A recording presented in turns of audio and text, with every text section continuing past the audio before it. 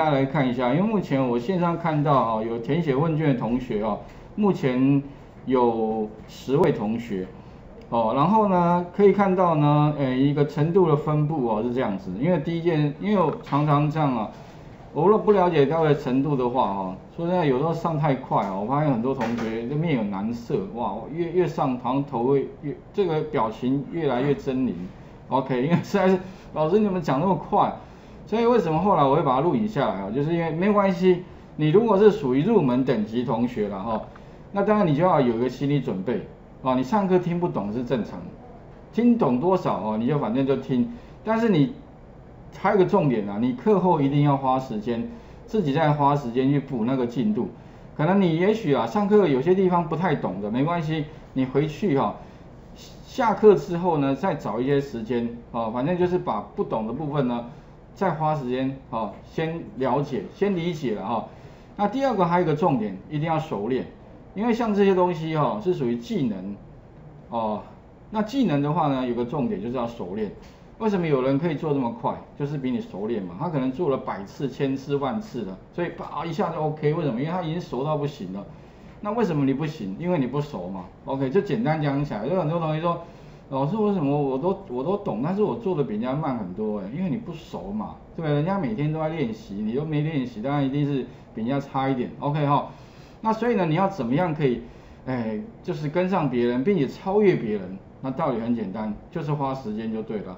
OK 哈，那，另外第二个我刚刚一直强调理解，好，不要死背，反正花时间知道为什么就 OK 了哈。那我们这个班呢，当然啊，十个同学里面哈。总共百分之六十是选入门的，所以可想而知，大部分同学好像程度会稍微弱一点，不过不用担心，好，OK，我刚刚讲了。另外的话，进阶的话百分之四十，啊，另外要高阶没有，之前还有高阶同学来报这个课了，OK，所以等于是说变成三分天下的状况也有，哎，每每种程度都有哈。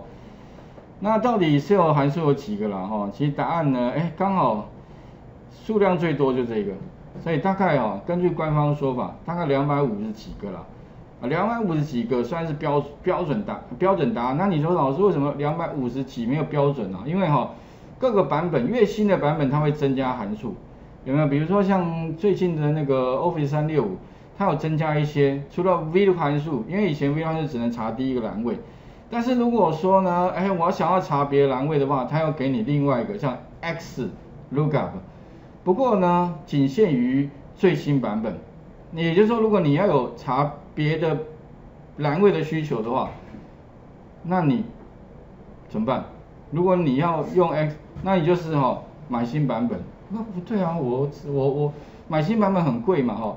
所以要不然其实啊，你也可以怎么样，在旧有的函数里面找出需求，像 lookup 函数也可以啦，或者像 index 加那个 look 呃这什么 match 函数也可以。啊，或者像什么 indirect 啦、offset 这些函数，其实也都可以。那也就是不一定要用最新的啦，反正你就是哈，先知道说函数到底，其实函数简单讲起来就是解决问题嘛。那问题是每个函数的使用方法都不太一样。那当然我们其实不是说要叫你死背啦，而是说你要理解函数的使用方法。也就是即便你完全没有用过每某一个函数的话，但是你知道它的一个固定逻辑哈。哎，其实你慢慢也大概可以推敲的出来，它应该怎么使用。OK，所以这个应该就是我们的重点。在后面的话呢，我们会针对不同的问题，需要用哪一些函数。OK，那我会说明一下，哎，为什么这样用哦？如果你理解的话，那当然你也可以再去试试看其他函数，没用过也没关系。哎，你可以用类似的方法踹踹看。所以呢，哈，一个问题的解答哦，绝对不可能只有一个答案。可能是多个，非常多个，那你当然要哪一个？当然是效率最高那一个啊，或者是怎么样？你觉得最容易的方法嘛？最容易又快速当然是最好的方法。OK，那再来的话呢，希望上课以哪问为主哦。哎，第一个最多是 VBA 自定函数，哦，所以大部分同学好像对于那个 VBA 的这部分哦，那什么叫自定函数了？也就是刚刚讲的那个两百五十几个函数里面没有的。哎，常常同学说，老师，我有个需求哦，哎，有没有哪个函数可以做到什么样什么的功能？我说没有，那没有怎么办？你要自己写。那你要自己怎么写？哦，答案就是用 VBA 了。所以为什么需要学 VBA？VBA 有点像量身定做。就是否什么否你的工作了，OK？当然每个人工作需求一定都不一样，那不一样的话呢，哈，如果刚好 Excel 没有提供给你对应的功能，那你就必须要么，可能就只能土法炼钢了，哇，那土法炼钢不得了，资料那么多，做到什么时候才能下班？这个时候呢，如果你会写 VBA 的话，哇，那问题当然就简单很多了，OK？好，所以呢，你会发现哦。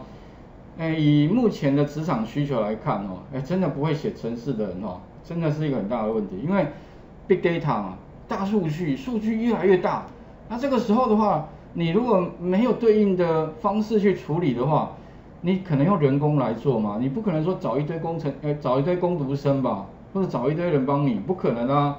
所以这个时候的话，程式写出来的话，那效率马上就事情就解决了。但是如果你不会写程式的话，很抱歉。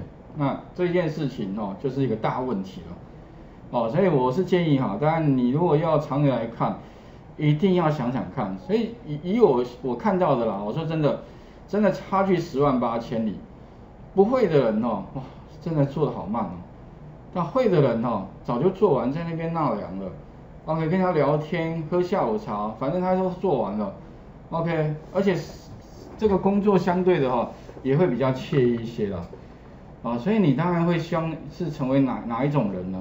哎，很累的吗？不不可能的，所以哦，把这个学好了，我觉得一定哈，对于你工作上的效率是绝对有哦这个极大的帮助哦。OK，那底下的话呢，选课动机哈，最多的话也是哦跟工作很有关系啊。其实当然呃，我放很多影片在 YouTube 啊上面呢，其实我发现哦，看的人哦绝大部分都是上班族。或者因为上面都有数据统计，而且啊，很多人会搜寻 Google，就是 YouTube 上面查影片，因为现在人很多不会哦，不会你说看文章好了，你看文章看书好了，看半天还是不会，可是看影片的话哦，其实你会发现差很多，影片的话是连续的，所以相对的一下问题照着做不就 OK 解决了吗？好，所以呢，当然我上课也会把影片录下来，哦，所以假设啦，有些部分不会，请各位哈。自行再参考影片上面的说明，甚至你也不用说从头看到尾啊。一个影片不像以前上课是，你一定要从头听到，不用啊，你就跳到你不会的地方就好了嘛，快转，对不对哦？现在人都很没耐心的哦，所以没关系，反正我影片录下来了，你就跳到你需要的那个部分看重点就 OK 了。那你会了，说真的，其他大概就会了，OK。所以解决问题的方法其实也不需要那么那么有压力啦。OK，学习东西哦，我是觉得跟以前不一样的地方哦，是真的可以非线性的，所以现在人真的比以前还幸福太多了。像以前你会发现，以前没有 YouTube 的年代哈，学习东西还真是大问题。以前还跑图书馆呢，现在很多人都不跑跑跑图书馆，直接看 YouTube 上面看有没有人教学就好了。我发现 YouTube 真的太多东西哦，学都学不完呢。OK，真的太多了，举凡哦生活上的啦。像前一阵子有没有那个什么呃高丽菜很便宜的时候，然后我突然有个想法，哎，高丽菜我多买一些，我把它做泡菜，对，哎，一个想法，做泡菜当然不是我们的专长啊，可是我在那个 YouTube 上打一个关键字做泡菜，哎，真的一堆的影片出来，我就随便随便看两三个之后，我就自己啊有点手痒了，那我就开始动，哎，发现做出来的哎好像还不错哎，我就请我老婆吃吃看，她说啊。这不错哎，不过她说哦，哎可能嘛太太咸了哦，没办法我就盐巴放少一点，要不然就不要泡那么久，OK 哈。那诸如此类的哈，就可以解决很多的问题。那其他的话，为什么来上这门课？其实哎，如何得知这个？最多好像也是推荐的哈。我发现其实好像我这个课程推荐率还蛮高的哦。显然的话是学了之后呢，对有一些人是有帮助的啦。OK 好。那这个是第一个，我们大家知道一下大家的一个情况哦。那第二个的话呢，就我刚刚讲的，我们就是连到云端。那请各位呢去下载这个范例档哦。那下载这个范例档不是只有我们这边教室可以下载，你回到家或者你在任何地方都可以下载。所以我是建议啊哈，回去一定要花时间多多练习。OK，那首先的话呢，请各位帮我下载之后解压缩。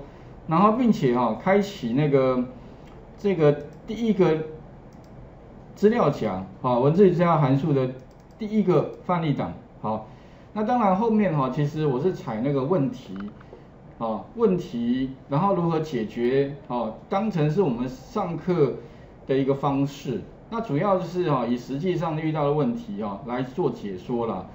所以呢哈，底下会有很多很多的题目，那我大概会呃按照几个基本的顺序啊，从简单到复杂，所以呢可能会先教大家哎怎么用里面的函数解决问题，但是函数其实还是很没效率，因为每次它下一个公式，然后它输入很多东西得到才能得到结果，好，那如果说呢你想要把它变成呃 VBA 的话，中间其实可以经过聚集。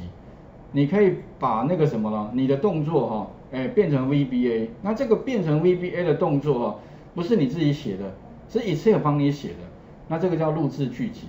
那其实录制白话意思啊，就是你哈用滑鼠键盘做的动作，它帮你记录下来，写成 VBA 的。好，啊那个 VBA 程式哦，你也可以看得到，也可以修改。只是说了哈，你说它是 VBA 吗？其实倒也是啦。那可是说呢，它这个是。Excel 帮你机器帮你写出来，所以哈很多地方是缺乏弹性，而且哈很多地方其实可以不一定要这样这样做，但至少你不会写程式之前录制剧集哈是一个很好的过渡方法，好啊我会讲，然后再来就是 VBA 的做法，OK，所以我们就是循序渐进的哦，哦按部就班，我不会一下子跟你讲很困难的，但至少你们先了解题目需要什么，那怎么解决问题。哦。所以呢，刚刚有提到第一个问题，就是请各位把那个什么这个哦，第一个的资料夹的第一个范例打开，OK，然后呢，我们要先解决第一个问题。那第一个问题当然哈，里面呢有提到就是用串接 AND 嘛哈，然后另外就是用 R E P D 加 LEN。那可是其实是不是有这个方法？当然不是，还有别的方法。只是说了，假如我们先用第一个方法哈，R E P D 也许你没用过，哎，没用过没关系，这边有一个练习，那 LEN 这边有一个练习，你也可以使用啊。其他还有一些像 left 啦、right 啦、mid 这些都还蛮常用到的函数，我是建议的哈，你没用过你都试试看，OK 哈。然后呢，首先的话 REPT 你可以切过来看一下，REPT 哈，包含就是说呢，像这一题好了，哎，比如说销售量哈，假如说超过一百。就给一颗星，所以一百五十八就给一颗星，两百八十六就给两颗星，也就有点像什么无条件舍去小数点，除以一百之后，小舍去小小数点之后的那个整数哈，就是我们要加的几颗星的数量。所以呢，我们假设了哈，以这个 REPT 来看，我们可以插入函数，然后呢，一般习惯是这样的哈，我的习惯是插入函数之后的话。上面有个类别，那我的习惯是因为它这边很多类别嘛，哦，那如果比如说文字类的，有没有？这边就有文字类的，我是建议啊，你可以用那个类别分别去学，就是用类别去学习函数，这样会比较怎么讲？有一有一个那个就是哈类别哦，比较不会混淆。OK，那首先的话呢，我们就是找到文字类里面的 R 开头，因为它按照英文字母排列。那其中的话呢，有一个 repeat R E P T 嘛，哈，那其实啊，这个函数的名称，我想应该是 repeat 的缩缩写吧，有没有 repeat 啊？I P D 应该是 repeat 的缩写，哦，然后呢，它底下啊，将来我是建议各位慢慢习惯，就是看懂那个函数的相关参数。那什么叫做函数哦？基本上就是它会问你一些问题，你回答正确的问题，它就会给你应该得到的答案了。比如说你这一题来看啊，按确定，他问你两个问题，test test 是重复什么文字，有没有？test 是文字嘛啊，意思说我你哎你要重复的什么文字啊？哦，重复星号，所以你把星号给他，有没有？那几个方法，要不就是你指向这个储存格，他会把这个文字有没有，帮你带到这边来，那这边会产生一个星号，意思就是说，哎你要重复这个星号。另外的话，只要是文字的话，记得哦，前后都有双引号，这个是固定规则哦。那第二个问题说，重 number times，一，顾名思义嘛，哎，你要重复几颗星？所以呢，我底下第二个问题是跟他讲说，哦，我要重复的星号是由销售量有没有？哎，销售量你如果一百五十八，它会产生一百五十八颗星，那不对啊，我必须什么除以一百，除以一百之后的话呢，那接下来就是它的星号，哎，就是刚好一颗星，因为一点五八它会自动帮你把什么小数点无条件舍去。不过当然啦，比较精确的话哈，你可以看右边这边哈，其实比较精确应该在外面包一个什么 int。这个 int 的话就是 integer，就是整数的意思。也就是说，如果你外面再包一个 int 函数的话，那意思就是说怎么样，把小数点无条件舍去的意思。OK，所以你会发现哦，如果你这个地方包一个 int 之后有没有？它本来这边是一点五八，哎，它这个时候就变成一了。那这个时候呢，我们按确定哦，它就会得到一颗星了。那再来，当然就向下填满，应该就 OK 了。不过你向下填满应该会出错了，为什么出错呢？主要的原因是在哪里呢？因为你向下填满哈，它的那个储存格哈 C1 嘛，一的话是列号，它会自动加一，有没有？你会发现这个为什么错了？因为它向下拉的时候，它会自动帮你加一变 C 二。跟你讲说不对啊，应该一直都锁在 C 一嘛哈，所以应该比较正确的做法应该是在一的前面怎么样，加一个前的符号就可以了。这样的话呢，哈，它就会固定在第一列了。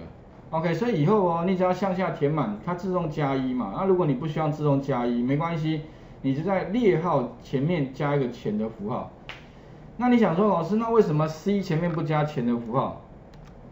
哎，跟各位讲一下啊，那个 C 的话指的是 C 栏，C 栏的话会加一，是你向右拉，向右填满，C 才会变 D，D 才会变一哦。OK，可是我们现在只有向下填满，没有向右填满，所以其实蓝的地方哦不需要。但不过你想说，老师我常看到有人哦都有加钱的符号，哎，那有没有错？其实也没错啊，反正加了又不会影响。但是加了其实我是觉得不必要了。所以像我的习惯是哦，不必要的事情千万就不要做，不然的话有点像哈，虽然不是错的，它不会产生错误。但是其实这样的观念是不对的，哦，你就把它修正一下，按确定就可以了。OK，这个可能要特别注意哦，尤其钱的符号你没有这个观念的同学一定要有哦，不然的话你以后用 Excel 真的是大问题。按确定，好，确定要向下填满，这样就 OK 了。哦，有没有？哎，就得到我们要的。那再来的话呢，哈，就是 LEN 的啊，你们可以试试看其他的，像 Left 啦、Right 啦、Mid 等等的哈。OK，那还有一点跟各位讲一下。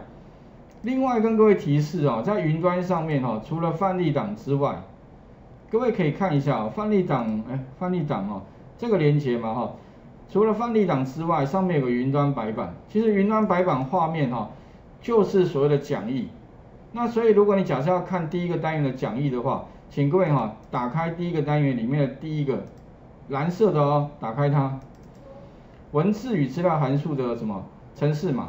那这边就有刚刚我打的程式嘛，这边出呃这个公式会出现，那其他的相关答案也会出现，甚至将来的那个什么呢？哎，公式啊，或者是 VBA 的程式哈，都会把它贴到我们所谓的云端白板上面哈。所以如果你假设要找答案的话，我是建议哈，各位可以记一下云端白板画面，那只要范例档里面有的档案啊，这边上面就会有一个参考。解答，所以你们可以找一下，OK，好，那我把画面呢先还给各位哈，试一下，哎，把那个 REPT 啦，然后 LEN 也试试看哦，来，画面先还给各位哈。